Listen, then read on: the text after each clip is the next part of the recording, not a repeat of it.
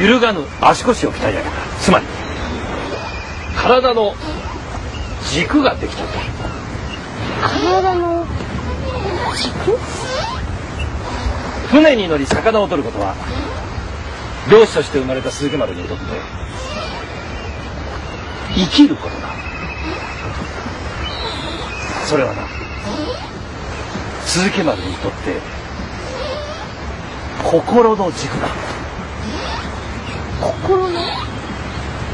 己にとって。生きるとはいかなることか。それを見つけた時心の軸ができる。心の軸が体を支え体の軸が？心を支えるのだ。ん少し難しかったな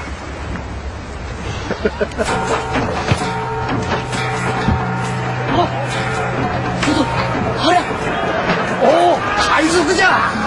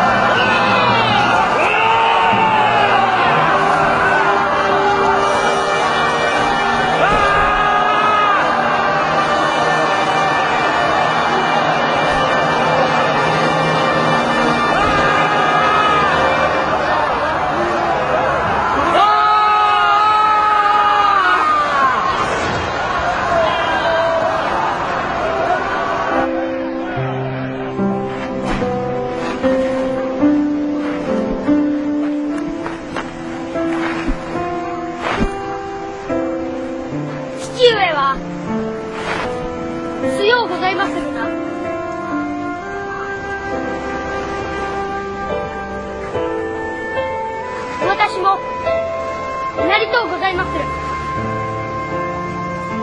父上のような立派な武士に。さよう。かはい。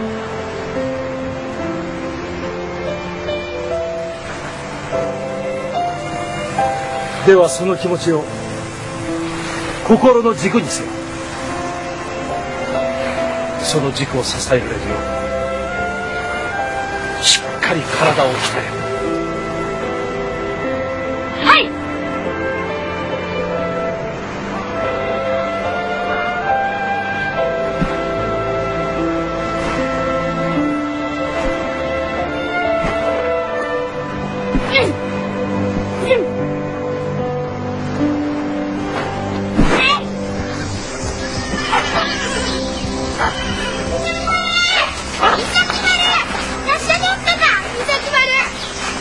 こと清盛の生みの母を亡くした忠盛は制裁として宗子をめとった。ただいま戻りました。平太平次が兄上と遊びたいと待ちかねておりましたよ。兄上これこれが母上と平次にお土産じゃ。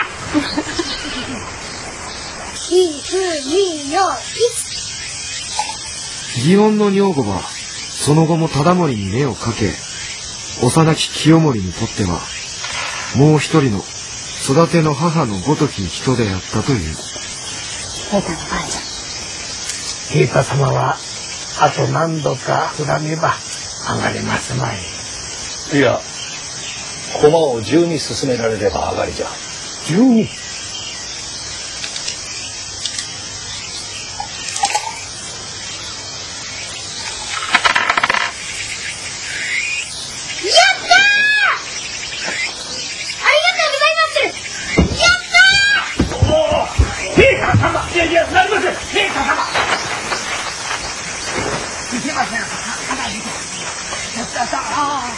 やはりであったか。舞子もすごろくが強かった。おかしなところが似るものじゃの。う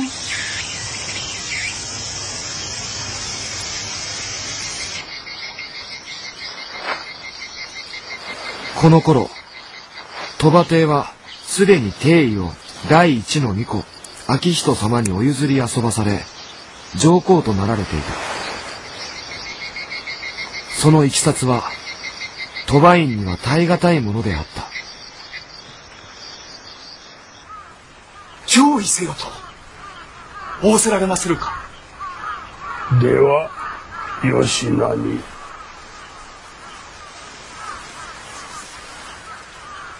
申し上げまする。親王様がお待ちにござります。昭仁が上手に書が書けましたゆえ父上様にお見せしたいと仰せになられて。さようか。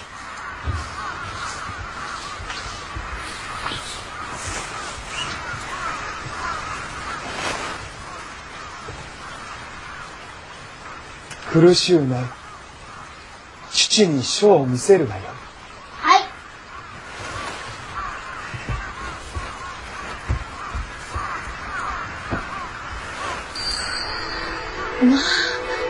昭仁殿？そうじゃ。良い知らせじゃ。昭仁の即位が決まったぞ。その儀にござりまするか？門よ。ここはわしの世じゃ。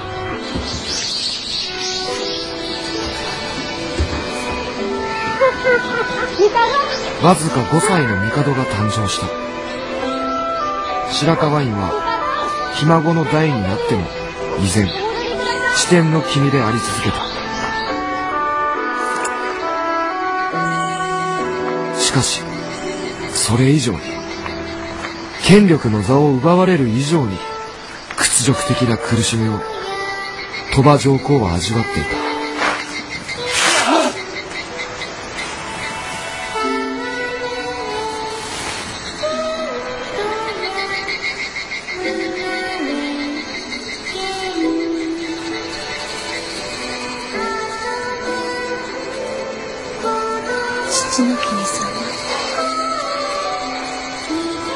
わしのかわいい娘と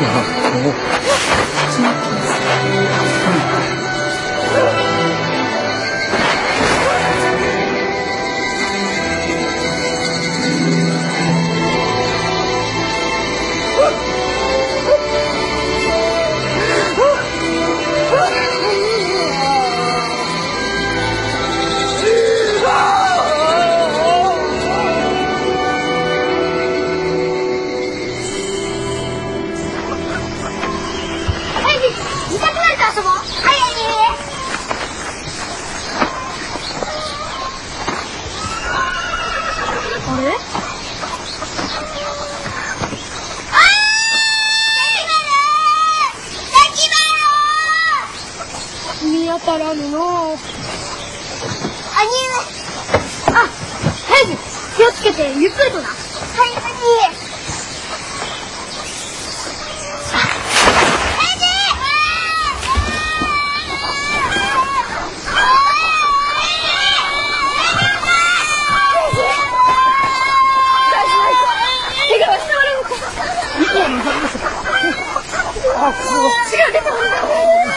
落ちる時の枝で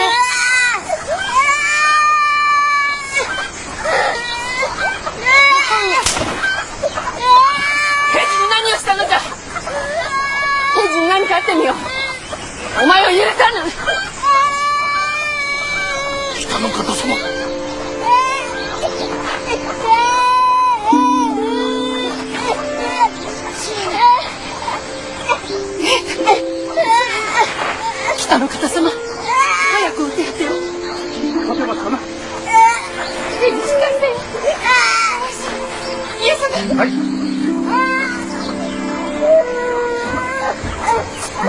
こ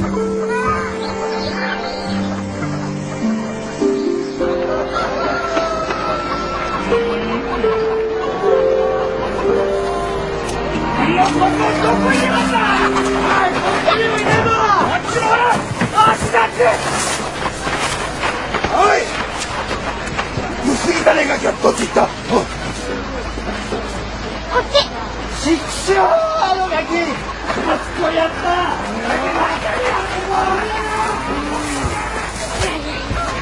大きな大きななんじゃなんじゃこやって取らんきゃ何だお前。平の忠盛がこう平家じゃ